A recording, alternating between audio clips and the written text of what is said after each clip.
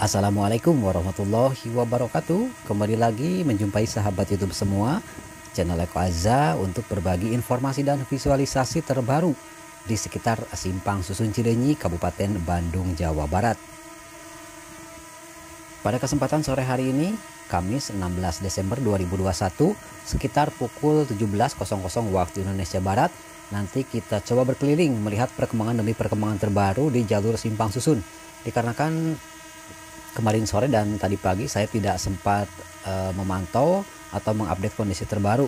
Dan tadi pagi saya sempat menuju ke arah GTO Rancakalong kemudian ke tunnel Cisumdawu kemudian sampai ke wilayah Sirna Mulia. Nah nanti di wilayah Sirna Mulia ada tayangan udaranya. Makanya sahabat tetap ikuti terus ya channel Eko Aza caranya sangat mudah. Cukup klik tombol subscribe-nya tombol jempolnya dan dinyalakan notifikasi loncengnya dikarenakan banyak permintaan sahabat YouTube untuk mengupdate uh, situasi terkini di jalur tol Cisumdawu yang berada di wilayah Sirna Mulia sampai ke arah jembatan Cinapel. Wih, mantap sahabat YouTube.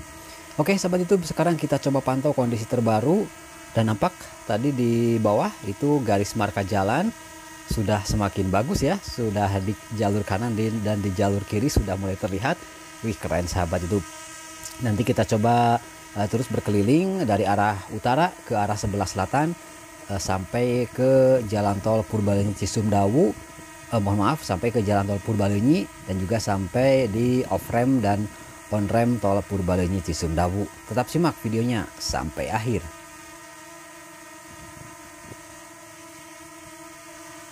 Kondisi cuaca saat take off agak sedikit gerimis kecil sahabat YouTube. Jadi saya suka deg-degan nih jika nekat menerbangkan drone saat gerimis namun semoga lancar saja ya Alhamdulillah. E, untuk berbagi informasi kepada sahabat YouTube semua. Dan terpantau kondisi arus lalu lintas di bawah sana tepat di Jalan Raya Jatinangor Sumedang.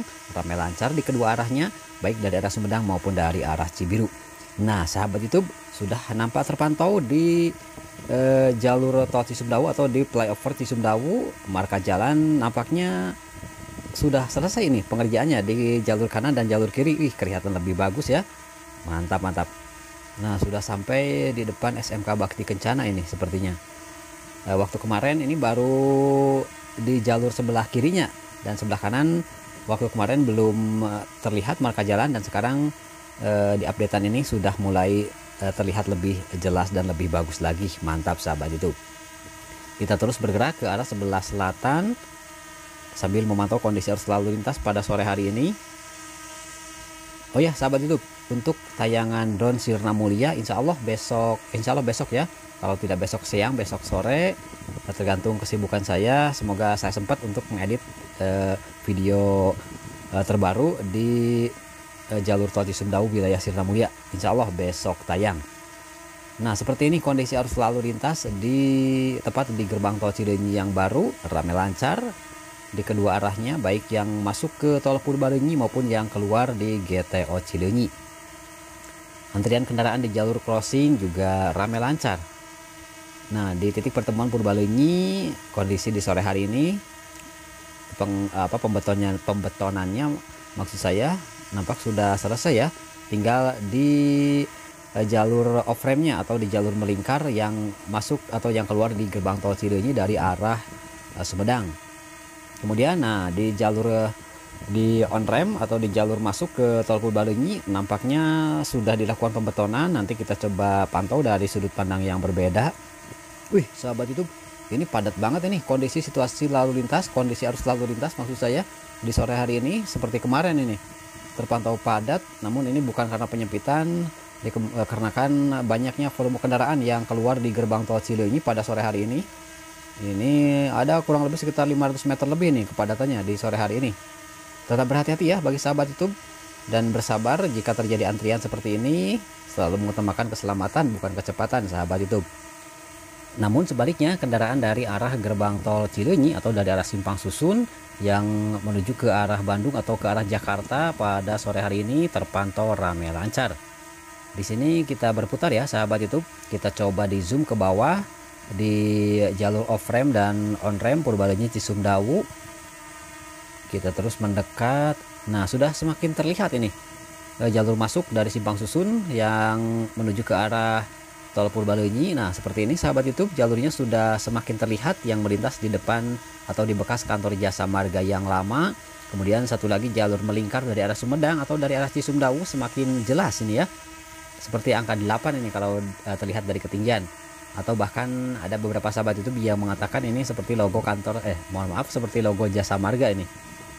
Wah, keren sahabat YouTube. Semoga saja ini e, nanti di akhir tahun atau menjelang libur Nataru ya ada informasi e, jalur tol Cisumdawu ini akan difungsikan sampai ke wilayah Rancakalong.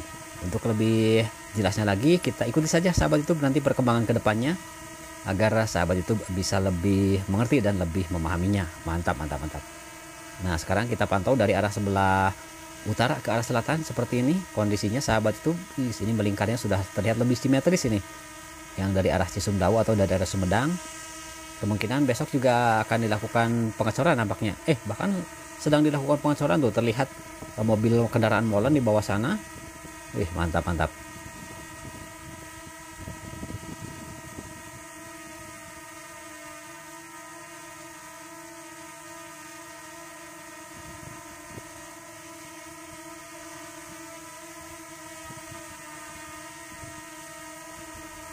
Baik sahabat YouTube, mungkin cukup sekian dulu video singkat saya kali ini mengenai update terbaru Simpang Susun Cileunyi Jalan Tol Cisumdawu. Semoga apa yang saya sampaikan dan apa yang saya visualisasikan dari awal hingga akhir bisa dipahami oleh sahabat YouTube semua. Dan juga semoga tayangan ini bisa bermanfaat ya bagi sahabat semua. Setidaknya bisa dijadikan suatu gambaran e, mengenai kondisi terbaru di saat ini dan nantikan terus updatean-updatean terbaru dari channel Eko Aza sampai jalur tol Cisumdawu ini selesai, sampai nanti difungsikan dan sampai nanti diresmikan.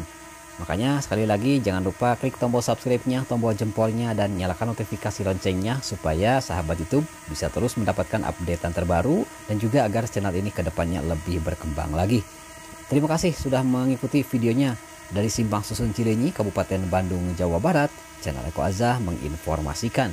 Assalamualaikum warahmatullahi wabarakatuh.